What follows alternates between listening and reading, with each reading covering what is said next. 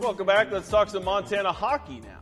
Yeah, let's do it. The new NA3HL season hits the ice this weekend, and after the Great Falls Americans had a bit of a hiccup to start last year, Richard Tieman caught up with the team this week to see how things are shaping up in 2022.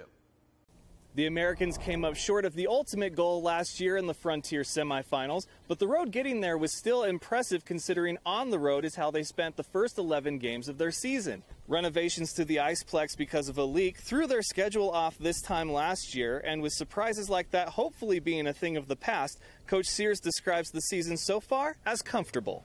Uh, we're much, much more comfortable right now. Um, we have a really good home schedule right now. We haven't had to travel yet, so complete opposite of last year.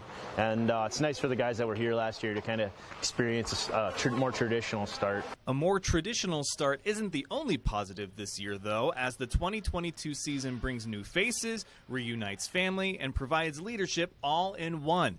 Veteran Alex Leaf joins his brother in the Electric City and brings a winning mentality in his last year of eligibility. Right now, uh, obviously, we want to get better every day, but our main goal every game we play, we're trying to win. Uh, there's points on the board every day, so we need to get those points. We need to chase first place as much as we can.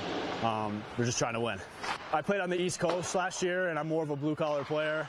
Um, it didn't fit me as much as out here did, and obviously my little brother's out here, and I haven't played with him since I was like four. We have his brother Aaron here, um, who's a second-year guy for us, so getting them both was huge. Um, Alex comes from a championship team last year out east in uh, different leagues, so uh, you know, get, just getting that experience is huge, and yeah, he's definitely one of our leaders. I think we really have a, a good group of guys, character-wise, you know, on and off the ice, and um, that's always a, a, good sign this early. So, you know, if we can continue to, uh, you know, get along, um, play together, play for each other. It'll be a good year. The Americans host the Helena Bighorns Friday, September 30th at 7:30 p.m. From Great Falls, Richard Tieman, SWX.